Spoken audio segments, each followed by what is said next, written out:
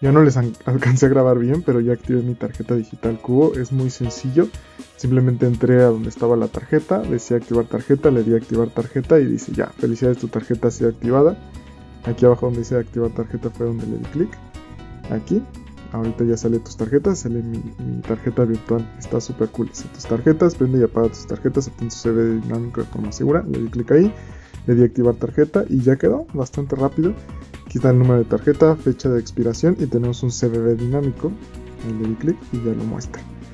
También podemos entrar aquí a la parte de tarjeta física. Dice tu tarjeta física de débito está disponible, solicítala para comprar en comercios y retirar en efectivo. Vamos a darle a activar mi tarjeta. Nos pide nombre y apellido, como queremos que, que diga nuestra tarjeta. Yo creo que diga así, sin problema. Vamos a darle siguiente. Está bueno que esté personalizada. Aquí tenemos que colocar un NIP. Vamos a colocarlo. Ya lo colocamos, ahora tenemos que verificar la dirección de entrega. Bastante chulo, creo que no te cobra nada, vamos a agregarlo. Vale, hay que corroborar la información.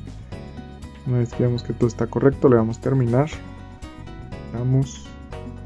listo, listo, tu solicitud fue recibida con éxito, le damos OK y ya está pedida nuestra tarjeta física, así de sencillo. Tenemos posibilidades de préstamos e inversión, que eso ya lo vimos en un video pasado, al inicio de este video, pero pedir la tarjeta es sumamente sencillo. Vamos a nuestras tarjetas, ahí está nuestra tarjeta virtual. La tarjeta física dice tu tarjeta física está disponible, solicítala para comprar en comercio y retirar en efectivo, le damos a activar. Le damos solo esta vez y sale aquí eh, para escanear la tarjeta, ingresar manualmente y esto es cuando ya nos llega la tarjeta. Entonces como todavía no nos llega, pues no, no lo vamos en este momento.